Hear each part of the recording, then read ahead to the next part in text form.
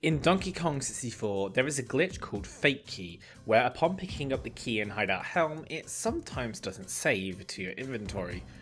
But why does this happen? To save on resources, Donkey Kong 64 splits large maps into sub-areas called chunks. Certain types of objects won't run their code unless that chunk is loaded. In Hideout Helm, there is a chunk for the throne room and a chunk for Key 8 room.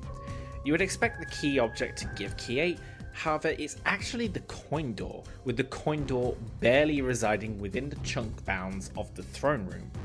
Therefore, if you deload throne room and pick up key 8, the key will not save to your inventory. In order to consistently prevent fake key, just look at the window or coin door whilst you are picking up the key.